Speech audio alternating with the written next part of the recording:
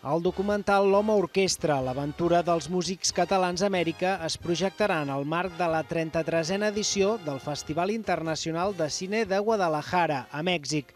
Aquest festival és considerat com la mostra cinematogràfica més gran d'Amèrica Llatina per l'amplitud i la varietat de la seva oferta. Serà aquest el primer pas per dur a les Amèriques el documental dels ballesans Àlex Gómez Font i Carles Riobó, que precisament retraten la història americana del músic de Granollers Jesús Moreno Peirón.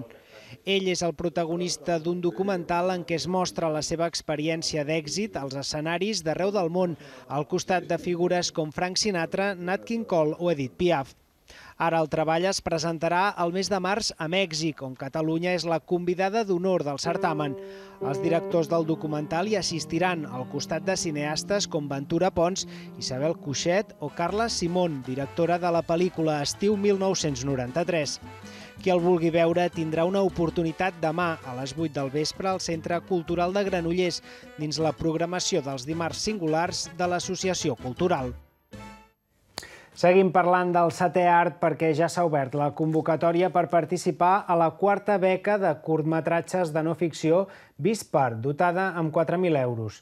L'Associació Cultural, Granollers Audiovisual, BOTV i l'Arxiu de Granollers impulsen amb aquesta beca la producció de curtmetratges que estiguin vinculats amb Granollers i el Vallès Oriental. El guanyador rebrà un ajut de 4.000 euros per dur a terme el projecte. Tindrà dret a una jornada de gravació al plató del Centre Audiovisual de Roca Humbert, suport tècnic i accés als documents de l'Arxiu Municipal i de l'Arxiu Digital Audiovisual de Granollers.